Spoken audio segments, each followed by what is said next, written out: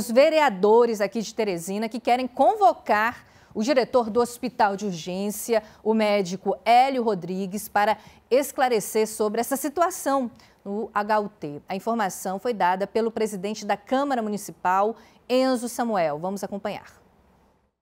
É importante a gente esclarecer o que de fato está acontecendo, principalmente porque agora possivelmente uma pessoa perdeu uma vida por ausência de um insumo como medicação. Então, diante dessa situação, a Câmara Municipal deve sim chamar o diretor da HUT aqui para que ele possa prestar maiores informações e para que possa apresentar um planejamento para que situações como essa não venham mais ocorrer.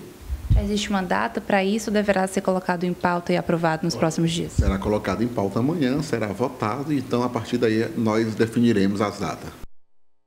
Tá aí, então, informação dada pelo presidente da Câmara, Enzo Samuel, a nossa repórter Shelda Magalhães.